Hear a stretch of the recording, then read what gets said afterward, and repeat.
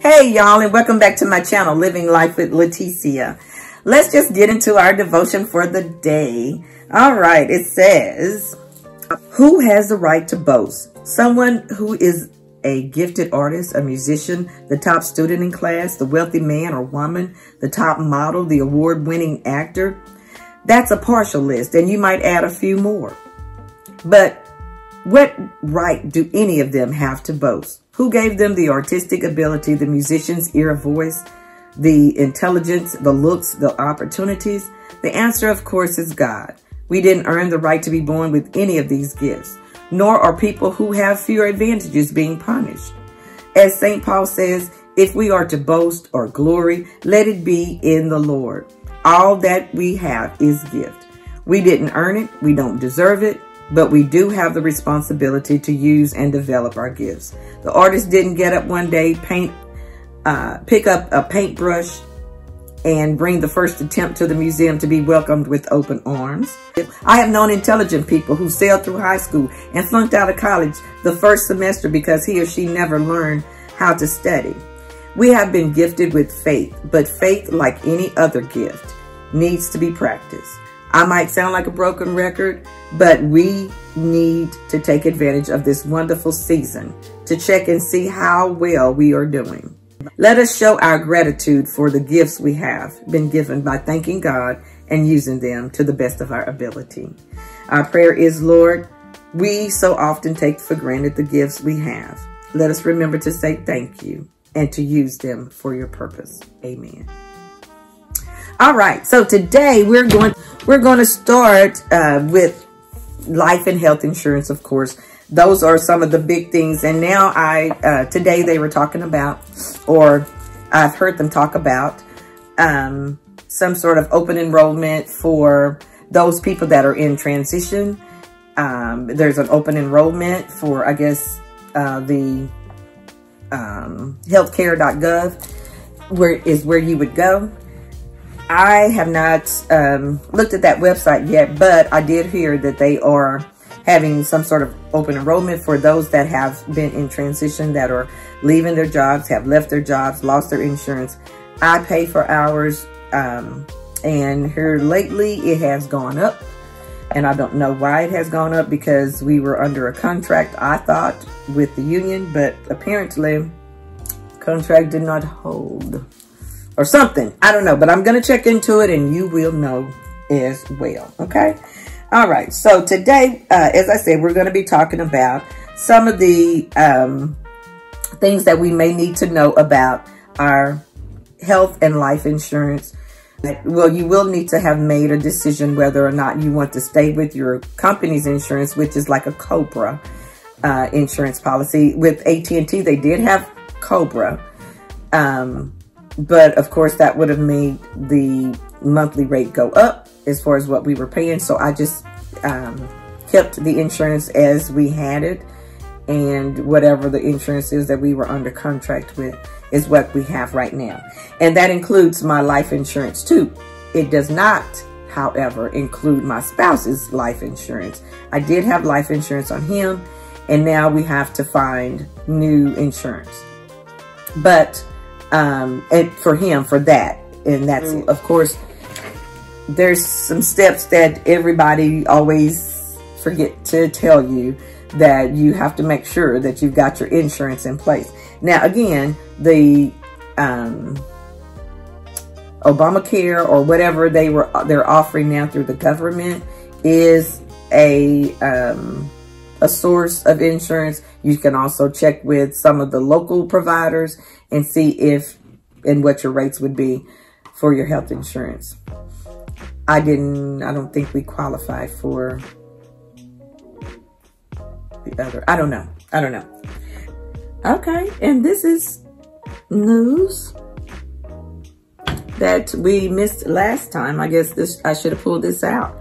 The Social Security Administration says it has a good, it has good and bad news for consumers to start 2022. The agency announced that the full retirement age has officially been increased to age 67.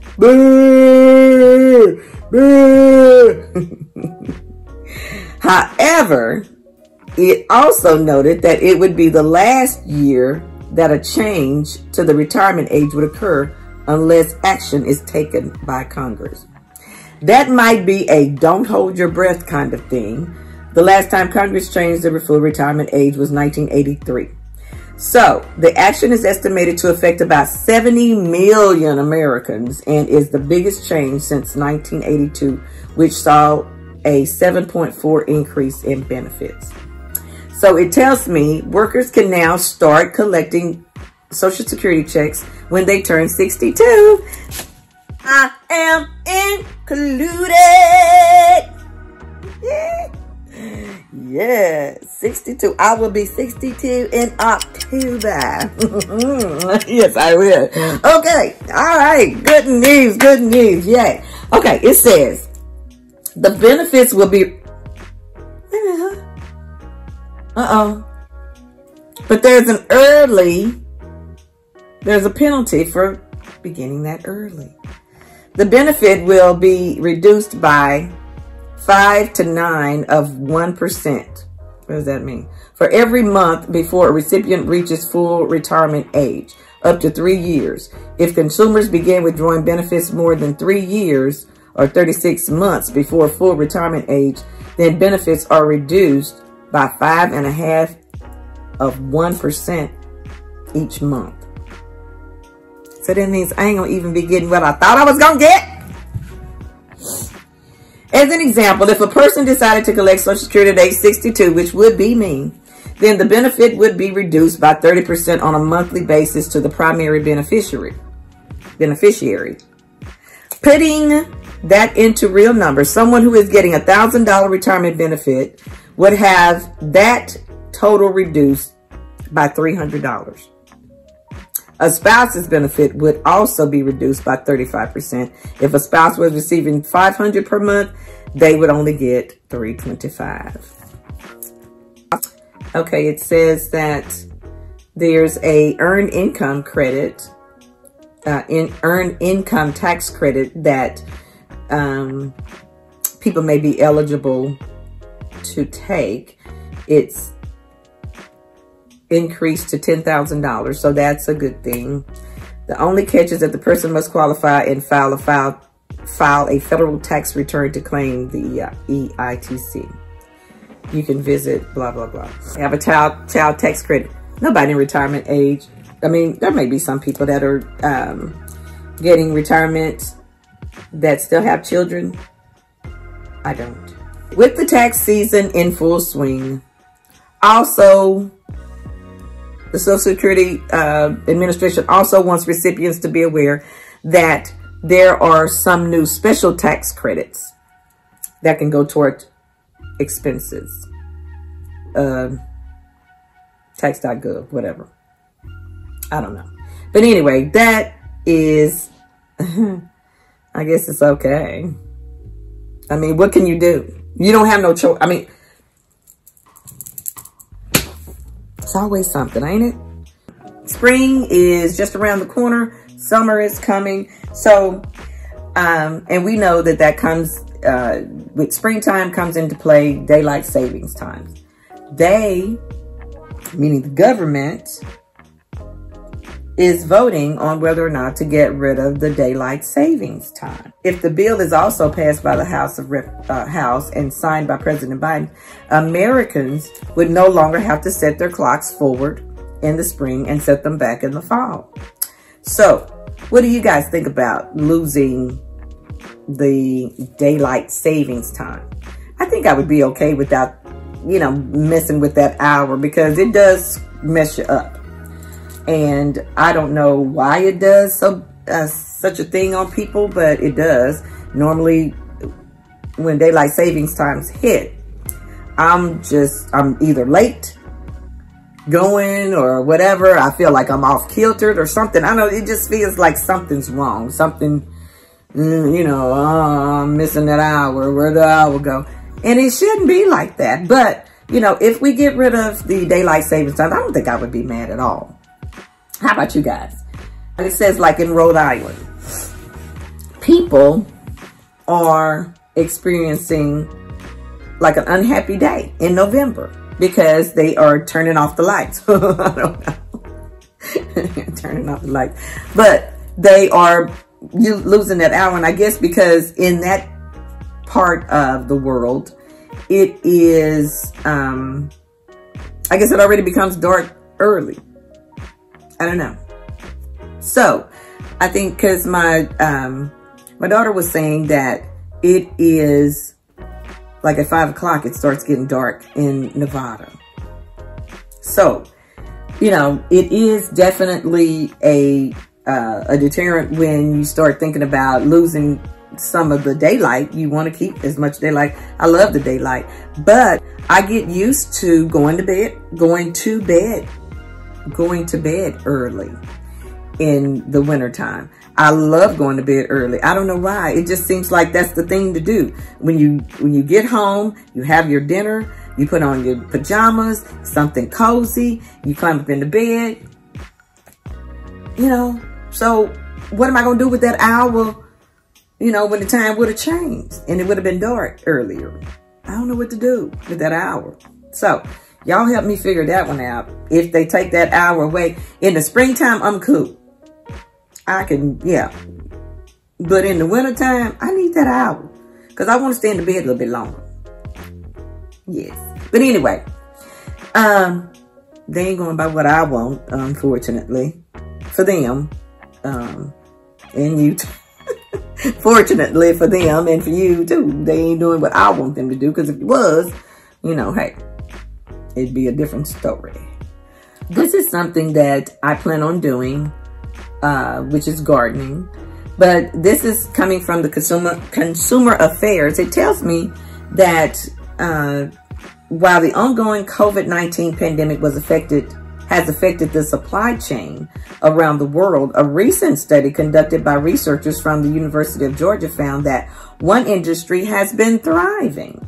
According to the findings, sales for anything related to gardening, gardening saw a significant increase over the course of the pandemic. So I have decided that I was going to Gordon, not because of this, but because of just the fact that I have plenty time to do nothing. So gardening is one of the things that I wanted to do. And I love um, growing stuff.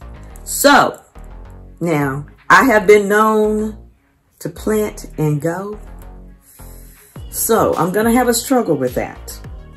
And what I mean by plant and go, plant and go, that means that I plant and then I go. I don't come back to water. I don't come back to feed. I don't come back to do nothing but plant. So I'm a harvester. Whatever you want to call it. But this is going to be my challenge and I'm challenging myself to, uh, to grow some of my own vegetables in my own garden. And I'm going to get a greenhouse and I will, girl, we got, um, girls, guys, whoever y'all are out there. Hey, y'all, we got some good stuff coming up. So I want you to always be involved in what I'm doing because what I'm going to be doing is what y'all going to want to be doing as well.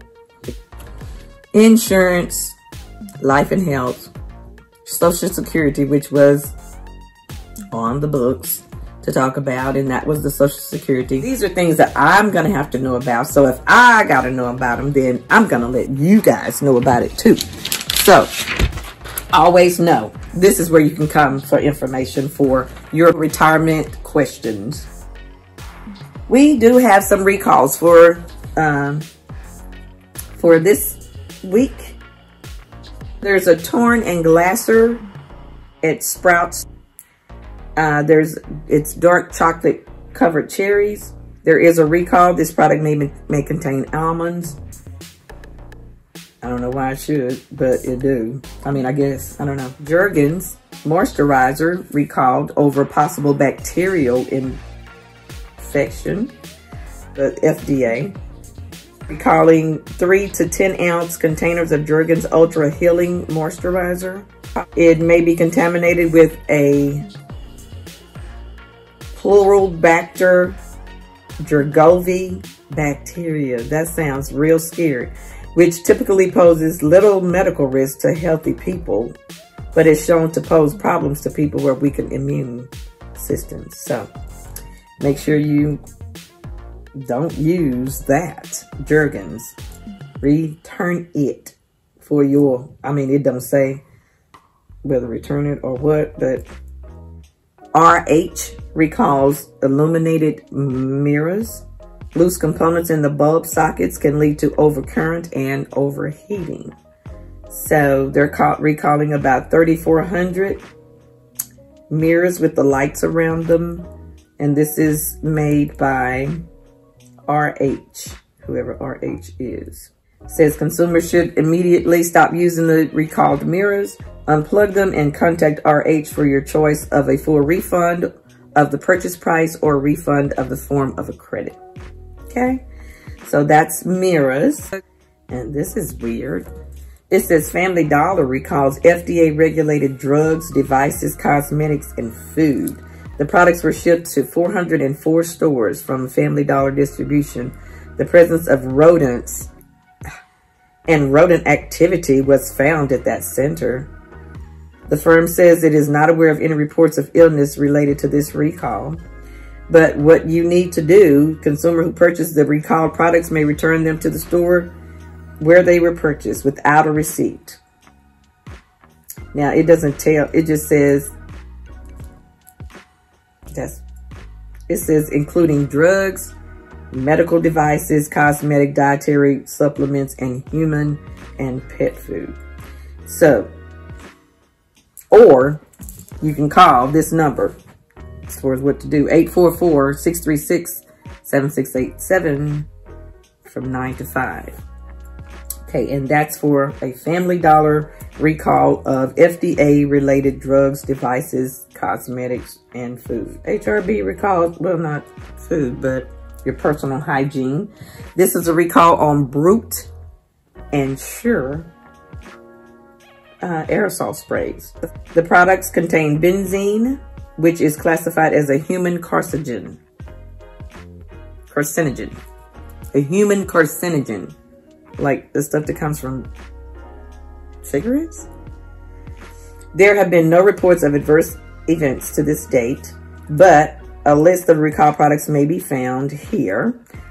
Uh, the products were sold throughout the U.S. except for 150 I don't know what that is. Consumers who purchase the recall products should stop using them if the expiration date is on or before August of 2023. Those who have products fitting that description should discard them.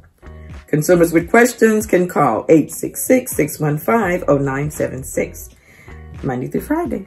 All right, so that is from the Consumer Affairs and getting, make sure that we keep you up to date on things that have been recalled, things that you should be aware of uh, with your purchasing powers. If there is nothing else for us to discuss today, we will end this segment by saying you always should be and want to be blessed and be a blessing. We love you guys and deuces and see you next time. Like, share, and subscribe too. I'm giving y'all information. Y'all can help me out. Help a sister. Like, share, subscribe down below.